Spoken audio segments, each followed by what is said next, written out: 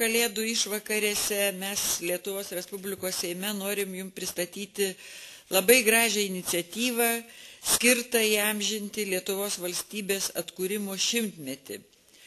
Tai paminklas pasaulio lietuvių vienybės karūna. E, ir turbūt neatsitiktinai mes tą pristatymą darom prieš Kalėdas.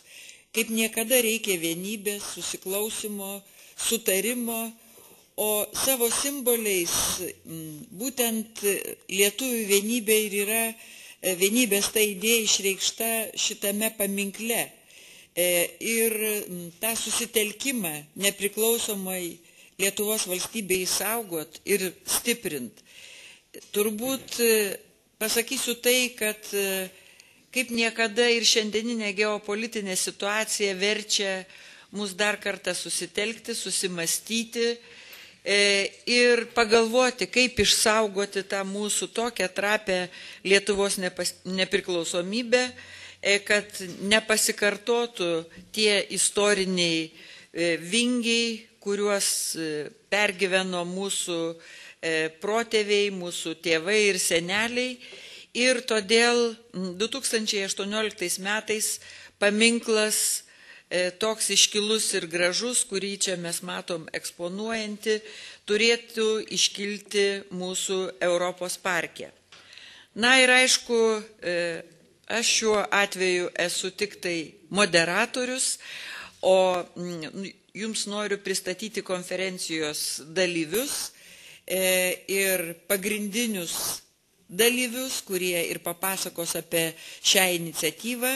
Tai skulptorius Gediminas Radzevičius, Europos parko įkūrėjas Gintaras Karosas, Juozas Dingelis Lietuvai pagražinti draugijos valdybos pirmininkas, na ir savo kolegas, kurie irgi prisideda prie šios iniciatyvos ir remia šią iniciatyvą, tai Valdas Karbalius, Onutė Valiukevičiūtė, Valentinas Stundys ir aš Irena Degutienė. Na, o dabar žodį ir suteikiu skulptoriui Gediminui Radzevičiui. Labą rytą visi susirinkusieji. Džiugu matyti čia daug pažįstamų veidų ir Seimo nariai tai visi pažįstam, nes per televizorių matom dažnai. Nu, dabar noriu trumpai papasakoti apie tą idėją. Čia gimė prieš gal keturis metus rutuliavom ir rutuliavom apie tą vienybę čia su draugais. Na ir man pasiūlė Edmundas Atkočiūnas, sako, tu ką nors sugalvo, kad išreikšti. Nu sakau, kaip čia išreikšti, turim simbolį jau krepšinį. Nu pas jau kas, dar, kas gali vienyti tą mūsų tautą šiuo metu, nu tai kaip bambalis vienyje, tai sako, kažką dar sugalvoti reikia.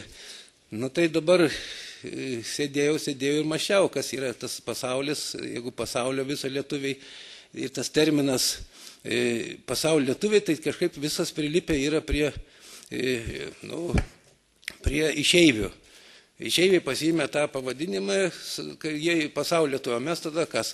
Tai aš pristačiau tą projektą pasaulio jau išeivių šitoj konferencijoje vienoje, čia prieš tris metus Seime buvo. Nu ir iškėliau tokį klausimą, kad kažkaip reikia suderinti tą savoką. Nu, tai sakau, nes tada mes gaunasi Lietuvoje tokie kaip ir kraštiniai. Tai aš pasiūliau tokį, kad pasaulio lietuviai turėti akcentuoti reikia viso, kad visi pasaulio lietuviai yra išeiviai ir gyvenantis Lietuvoje lietuviai, tai Lietuvos lietuviai ir Australijos lietuvis, bet jis lietuvis visur. O šiaip jungiant yra pasaulio lietuviai. Nu tai ten buvo plojimų, pritarė, kad tas projektas gražus, tai mane paskatino toliau veikti, įkūrėm Lietuvos fondą ir ten daug žmonių nerinkau, bet kad būtų kokybiški. Tai mūsų penketukas yra, taip kaip kumštis Tai gerbiamas Jonas Ivoška sutiko dalyvauti, pamatęs tą projektą. Nėra čia Liberto Klimkos profesoriaus. Paskiau Alfonsas Augulis irgi su reikalais Baltarusijos dabar laksto. Liudas Augaitis, toks raitijos, raitųjų skautų vadas ir aš. Mes čia tokį, nu, padarėm brandoliukavą. Nu ir pradėjom vystyti tą dalyką, paruošėm visus vaizdus, kur dabar matot. Ir dar didelį darbą padarėm, kad reikia eiti per, nu, norėjom sutelkti, kad visuomenė, tai per kokį 17 organizacijų supažindinam su šito projektu. Ir visi pritarė, kad morališkai prisidės, ko gali prie šito dalyko. Tai sekantis ėjimas, pabandžiau eiti, nu, aš toks bikčiai eksperimentatorius, kiti keistai žiūri, aš pažiūrėjau, sugalvojau, nu ką reikia kažkokią tai bangą daryti per tą Lietuvą, kad rystis idėja tai visų yra. Tai dabar tokia mintis kilo, kad reikia nuo nidas, nes yra tarp jūrių ir marių. Ir kad per marias iki biržų, o per jūras iki Čikagos nukeliauti. Tai aš susitikau su Nidos merui, sakau, tokia idėja yra, pritartum, o mielai pritarčiau viską. Nu, sutarėm šiemet, benai plaukėm į jūrą, tas sezono atidarimas didžiulis, grandiozinis ten išraižiau tokią krivulę ir tą krivulę įteikiau Nidos mero. O krivulė reiškia, kad ateina žinia apie tą karūną. Padarėm bukletus, spaudoj paplatinom ir buvo žmonės supažindinti. Nu, toliau tą susitariau su Kretingos meru, irgi nuėjau supažindinau, tai mielai sutiko ir jau buvo po kelių savaičių ta krivulė perdota Kretingos merui, o po to susitariau su Grubliausku, Klaipėdas meru per jūro šventę didžiulę. Ten ir ten ta krivulė buvo įteikta Klaipėdai. Vadinasi, tie miestai įsipareigoja daryti kokį nors renginį. Nes, pavyzdžiui, per tos kermošius pabandžiau, taip čia dėl damumo pažiūrėjau, nu, ten alutinis veikia, ten žmonės visiškai ne apie tai galvoja, ten jie papašnoja į petį, net dabar skauda, o, šitą, o, o kad ten kažkoks lėšas, nu, visi ką nors nusipirkti atėjo viską. Tai geriausias atvejis yra, tai aš tariausiai ir šnekėjausi su vedančiais mūsų tais artistais, ir Paškevičius, ir Višniauskas, ir dar kiti, Smoriginės ten, tai sako, su mielu noru, aišku, ten kažkoks užmokės jiems reiks mokėti, su mielu noru mes sudalyvausim tavo agitacijoje, bet kažkas turi organizuoti. Tai vat, geriausias yra dalykas, yra, pažiūrėjau, kad yra visus tos administracinius resursus valdo partijos, to kad partijos mūsų sistema partinė yra ir miestus valdo partijos, ne viena, tai kita. Ir, bet ten yra ir kultūros skyrius ir taip toliau. Tai galvoju, pašnekėti su miestų merais, tai vat, pirmieji sutiko, kad čia būtų įmanoma toks dalykas, kad surenkti specialią renginį tokį.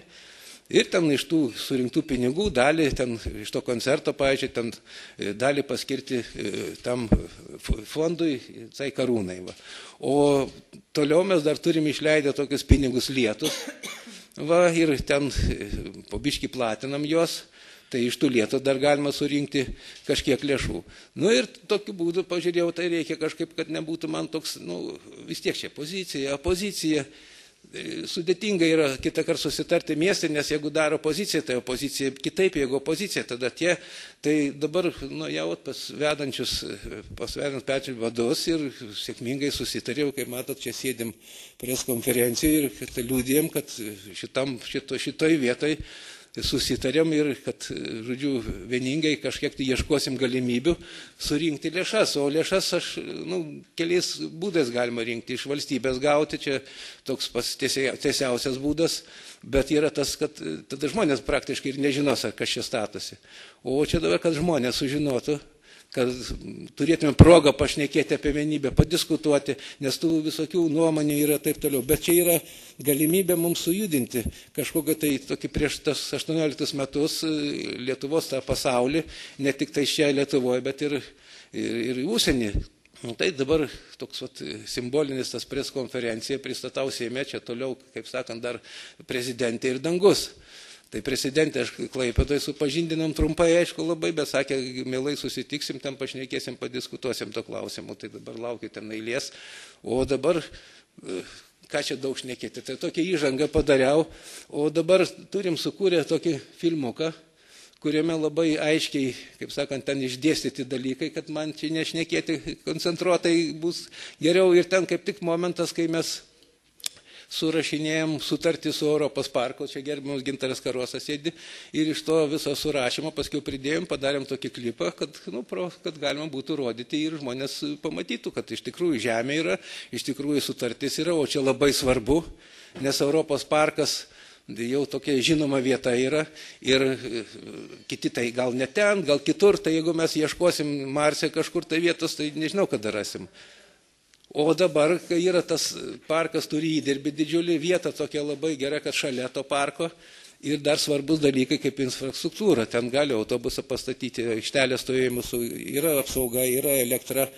Ir, žodžiu, įdirbis didžiulis tenais, ten daug žmonių lanko tą parką. Va.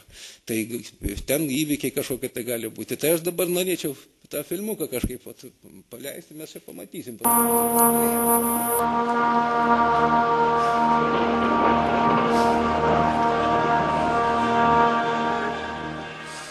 Tauta savoka sanskritinė reiškia išgrynintą grinuolį. Nu, kaip krištolą, kaip deimantą. Už tai, kai mes vartojam šitą savoką, tauta mums visada suvirpa širdyje siekis, noras, geismas kažko švaresnio, turtingesnio, dvasingesnio, kurio mes nuolat ir nuolat pasigendame ir savo pasaulyje, ir aplinkinėme, ir didesnėme pasaulyje. Dabar mes stovime toje vietoje, kur stovės pasaulio lietuvių vienybės e, karūna, e, paminklas lietuvių vienybė išreikšti.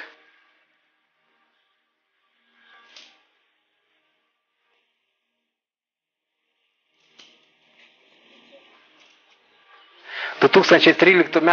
birželio 9 d. buvo surašyta sutartis tarp Lietuvos fondo ir Europos parko e, dėl bendradarbiavimo Lietuvos fondas administruos projekto darymą, o Europos parkas skiria vietą daugiau negu pusę hektaro šitam paminklų daryti.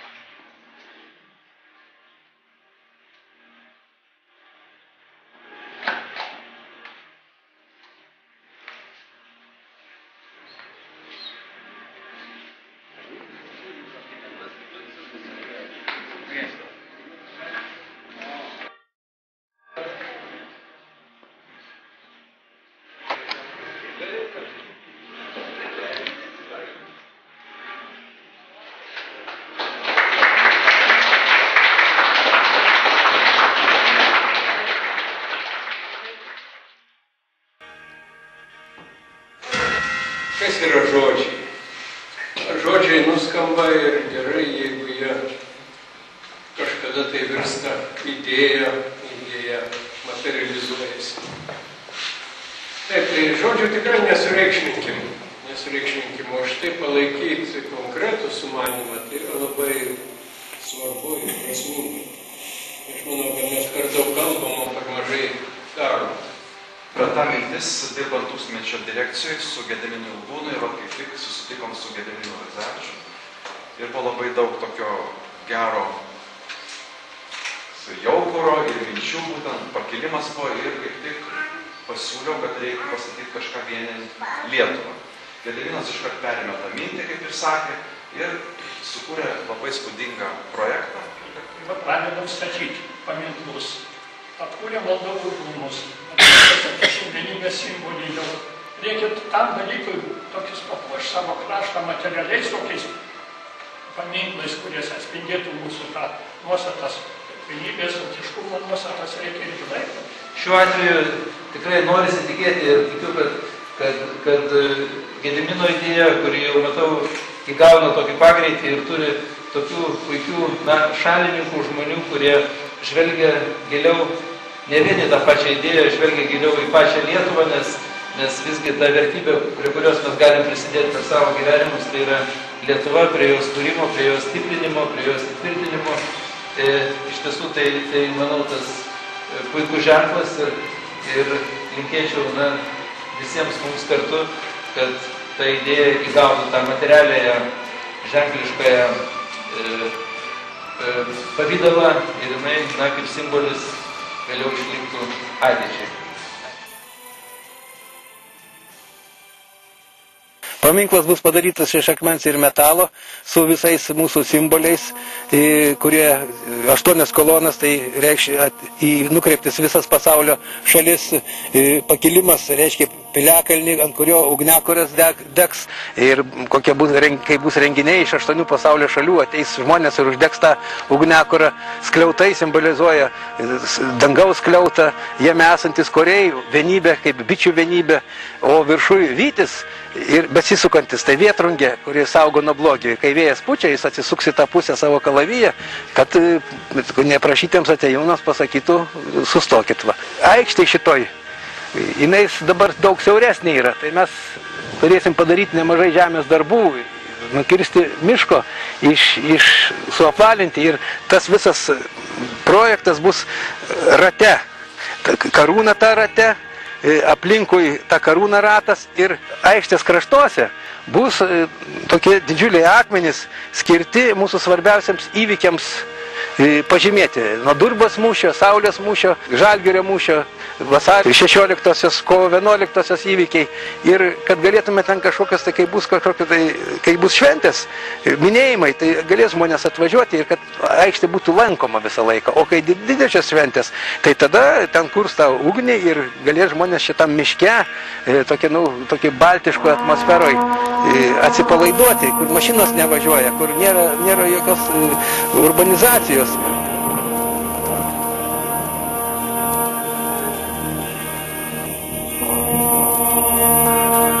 Įėjimas į pasaulio lietuvių vienybės karūnos aikštę bus pro akmeninių vartų arką. Vartų siluetas primena Gedimino stulpus.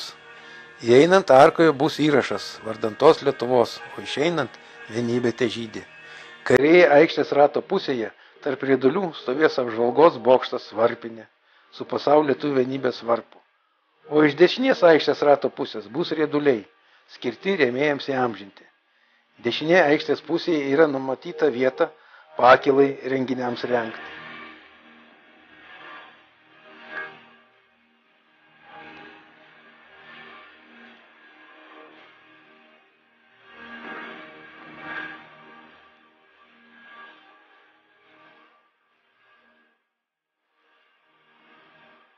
Šiuo metu pradėta įgyvendinti lėšų rinkimo akcija, kuri prasidėjo nuo Nidos, įteikiant miesto merui pereinamąją žolinę krivulę, kurie pavaizduota karūna su lietuvyčiu, o lados kotė išdrošime projektą remiančių miestų pavadinimus.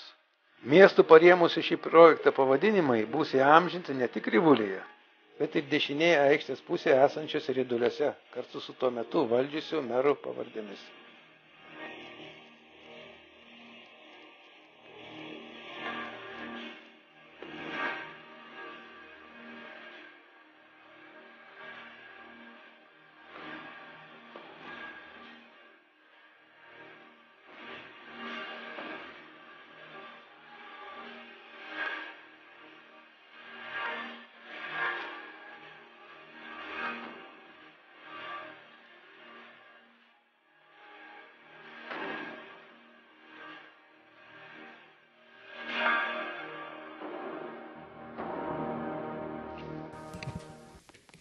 Taigi, iš tikrųjų, dėkoju už pristatymą ir svarbiausia už tą pilietinę iniciatyvą, kur, kaip ir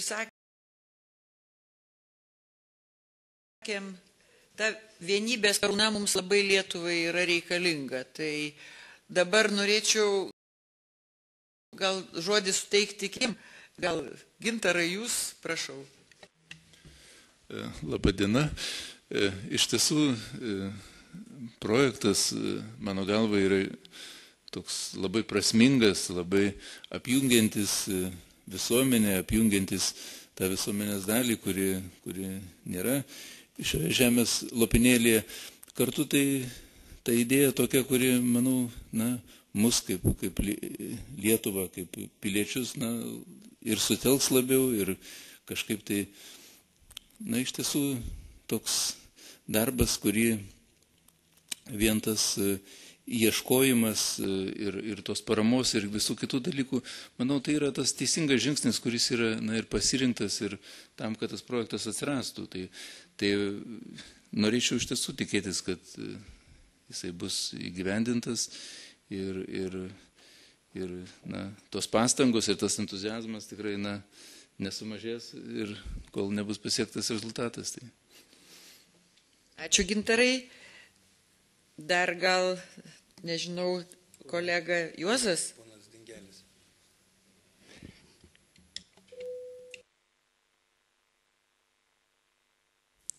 O, dabar jis. E, aš manau, tikrai puikiai idėja ir ypač laukiant mūsų jubiliejinio šimtmečio valstybės. E, daug ką mes čia planavom planavom ir paminklą Basanavičiui, planavom paminklą Lūkiškio aikštėje ir vat nieko nesugebam padaryti apart kalbų. Valdžios keičiasi, darbai ne, ne, nevyksta. Ir kaip vat, Klimka profesorius sakė, kad reikia veikti, tai, tai man džiugu, kad Gediminas ir fondas lieta veikia. Ir, ir man atrodo, jeigu mes susitelksim, tai nėra taip ypatingas darbas padaryti, tokį dar, dar yra iki 18 metų laiko ir, ir būtų labai gražu. Ir labai graži vieta. Ir jau, jau visai Europai žinoma vieta. Ir viso pasaulio lietuviams taip pat.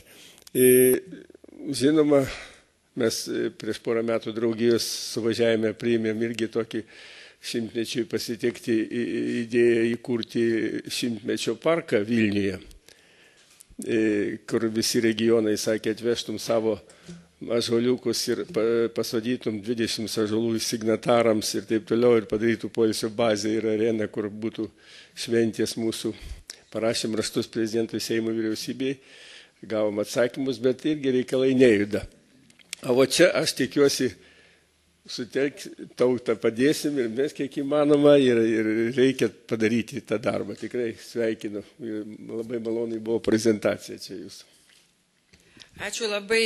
Tai dar kartą parodo, kad kai atsiranda pilietinė iniciatyva, tai tos idėjos įgyvendinimas yra ko gero greitesnis ir paprastesnis, negu kai jūs paminėjote dėl Lūkiškių aikštės tai čia jau ne vien politikai nesutarė, bet ir menininkai nesutarė, nes tai jau yra valstybinis užsakymas, konkursai ir prasideda, kas konkursą laimėjo, kitas apskundė, o čia, kada pačių menininkų iniciatyva, tai tada ir politikam lengviau įsijungti ir irgi e, agituoti kad tai yra puikus projektas ir kaip mes tą akivaizdžiai. Ir kuo mažiau to draskimuose, tai turbūt e, tuo greičiau, kurį e, galim ir kitiem eksponuoti ir patys tuo pasidžiaugti.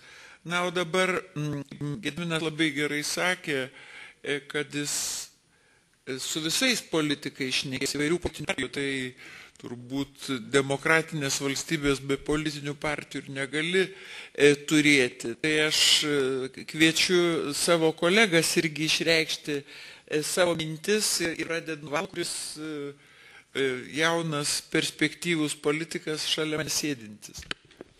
Tai laba diena, iš tikrųjų labai džiaugiuosi šito projektu ir keli dalykai turbūt kodėl. Visų pirma, kaip ir minėjote, yra politinė cita, tai yra pilietinė iniciatyva. Manau, tai vienė. Netgi žiūrėdami pristatymą mes pamatėm tuos visus istorinius įvykius, kurie turbūt dar kartą priverčia susimastyti, kokie mes vis dėlto galime būti vieningi ir kiek daug galime išgyventi arba kiek daug galime nuveikti. Dėl to tikiu šito projektu, tikiu, kad kiek įmanoma rasim galimybę turbūt ir padėti jį reklamuoti ir skatinti jame dalyvauti ir tikrai tikiu, kad šitas projektas pasieks finišo tiesiai. Onutė? Gerbėmėjai, kai vakar e, vienas iš šios idėjos iniciatorių, gerbimasis advokatas Jonas Ivoška, pristatė man šį projektą ir, ir, ir labai plačiai papasakojo, mano pirmoji mintis buvo, kodėl ne Vilniuje, prašau neįsižeisti gintarų karoso, bet mano giliu įsitikinimu toks, toks ta idėja ir toks paminklas tikrai nusipelno mažiausiai Lukiškių aikštės vietoje. Galbūt nesutarė menininkai, e, galbūt bet toks projektas yra tikrai labai svarbus pačiai sostiniai Lietuvos. Man, e, e, kalbant emociškai, nepaprastai gražus tas projektas yra, jis man primena Mindaugo karūną. Ir galbūt gerbiamasis skulptorius taip pat tokias aliuzijas turėjo, galbūt ne, bet e, tokia Mindogo karūna kažkada stovėjo Daukanto aikštėje, gėlių kompozicija panašiai išreikšta. Tai aš manau, kad nežiūrint jokių partinių ir, ir, ir nepartinių e, pamastymų, įsitikinimų, aš manau, kad pats projektas turi didelę, turės didelę sėkmę, jau vien dėl to, kad visi norės tuos lietus nusipirkti, ar kaip jie ten vadinsis. Iš tikrųjų, lietus turės. Tai yra irgi labai puikiai idėja. Sveikinu, pritariu ir, ir labai džiaugiuosi. Ne tik tai kaip e, Seimo ir pasaulio tų bendruomenės komisijos narė, bet tiesiog kaip pona. Ačiū, Nuteventinai. Taip, dėkui, aš tai kiek kitų kampų į šitą idėją pasižiūrėsiu. Seimas prieš turbūt trejata metų priėmė nutarimą, kuriuo paskelbė 18 metų, 18 metus Lietuvos valstybės atkūrimo šimtmečio metais, vildamasis, kad prasidės intensyvus pasiruošimas e, tam jubiliejui, tai šventėjai, pasiruošimas toks, kuris sujudins visą visuomenę, visuomenę susitelks, vienysis, kels įdomiausias idėjas. E, šimtmetis artėja.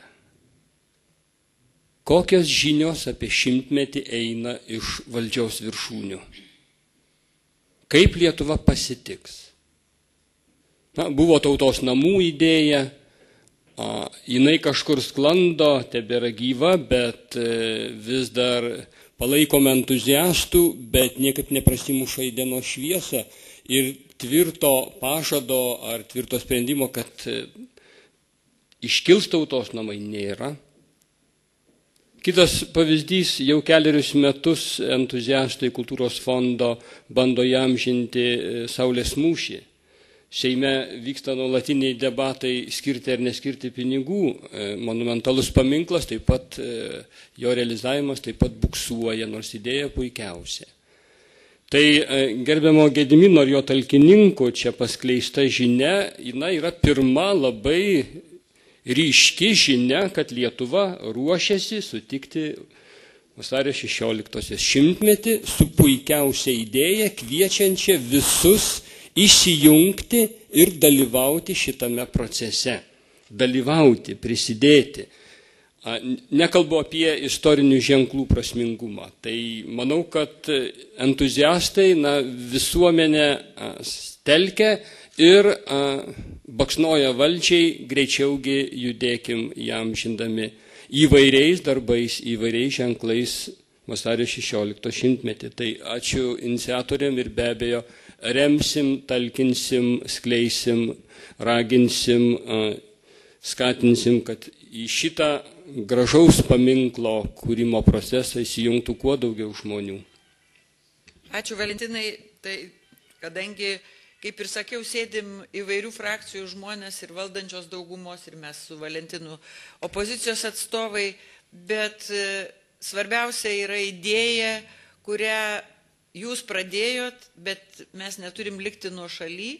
E, viena tai yra sklaida tos pačios idėjos, to paties e, paminklo karūnos kaip vienybės simbolio. O kitas dalykas be abejo, kai jau bus konkreti E, šimtmečio paminėjimo programa, be abejo, man atrodo, mes eime visi puikiai sutarsim, kad biudžeto būtų atskira eilutė, e, būtent e, finansuoti kažkiek tai lėšų skiriant šito paminklo įgyvendinimui ir jo kūrimui.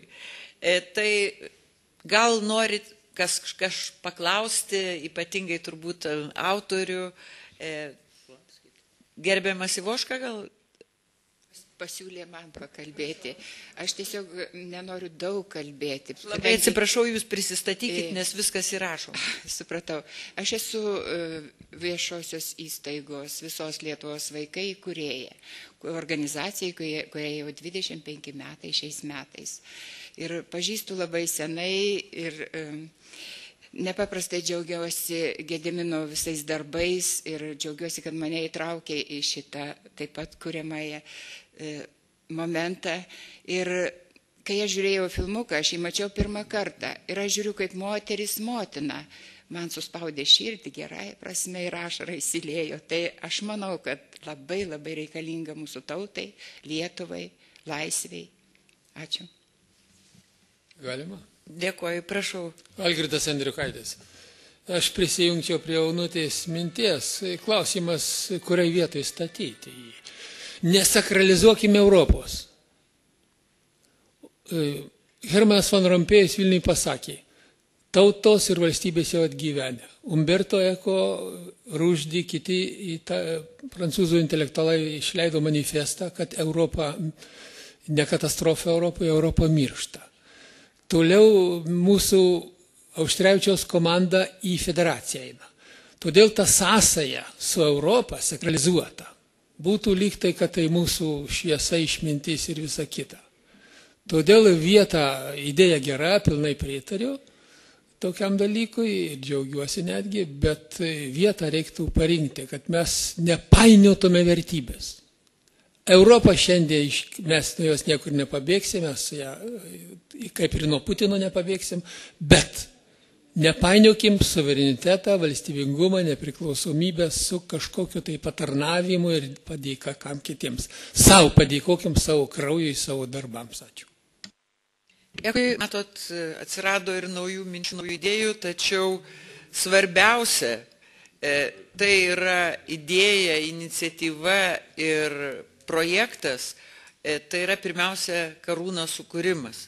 Ir mūsų visų uždavinys - telkti pinigus, kad tas projektas būtų įgyvendintas. Be abejo, mes visi čia girdėjom, va ir Onutės idėja ir, ir Algirdas antrino, e, apsispręsti, kur statyti, man atrodo, e, vėlgi mes įsijungsim į įvairias biurokratinės pinklės ir jeigu kalbėti apie tą pačią Lūkiškių aikštę, vėlgi yra Vilniaus miesto tarybos sprendimas turi būti, kaip tik artėja savivaldos rinkimų, e, gali valdžia pasikeisti, tai kaip ir dabar nelaikas šnekėti. Ir aš manau, kad ką nori matyti, tą matom, bet tas pastatymas tokioj neutralioj, sakyčiau, vietoj, Europos parke, miške, e, ramybėje ir tai, kas nori kur e, žiūrėti ir pamatyti tarp kitų skulptūrų, kurių irgi yra prasmingų, e, tai iš tikrųjų man atrodo, procesas būtų greitesnis negu tai, kad paminklas bus, bet neaišku, ar bus pastatytas. Ta prasme, įamžintas ir įdėtas į tą vietą, kurioje galbūt būtų tikrai labai prasmingai matyti Lūkiškių aikščiai.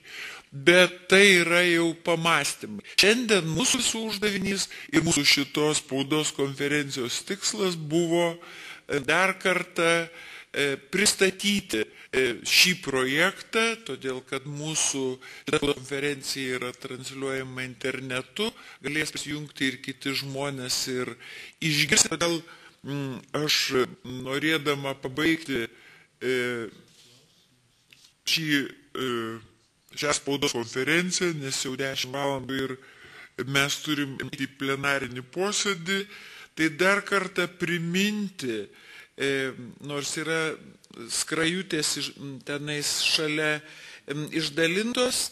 Mūsų sąskaita yra SEBankė, banko kodas 70440, atsiskaitomoji sąskaita 4, atsiprašau, LT 25 7044 0600 0768 5540 monumentui pasaulio lietuvių vienybės karūna. Ir turbūt elektroninį paštą adresą padiktuosiu www.lietosfondas.lt. Taigi visus kviečiu prisijungti prie vienybės akcijos, kuriant vienybės karūną ir prisidėti kiek kas galit, o iš esmės tiek nedaug. Šimtas litų pervesim po naujų metų į eurus ir tiek, kiek kas galit, paukokit. Ir pabaigsiu mūsų šią spaudos konferenciją ir šio kilnaus proste, projekto pristatymu žodžiais - vienybė. O mums visiems linksmų, gražių artėjančių švenčių, gražių kalėdų, o menininkams naujų kūrybinių idėjų. Ačiū Jums.